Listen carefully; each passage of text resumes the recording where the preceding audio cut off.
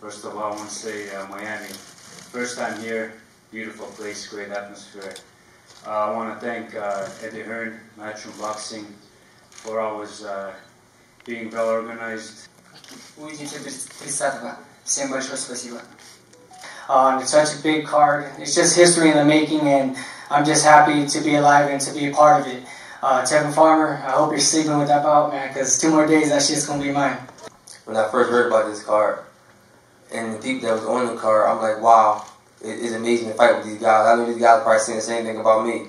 It's amazing to be on here with me, but it's amazing to be on here with them. Some people are looking at this as, as an easy touch for Andrade, but I'm on a different different level altogether. Go to Miami with the place, play all night, all day, big day. I walk to Miami. Aye, aye, aye. And look, I am your father. I am your father.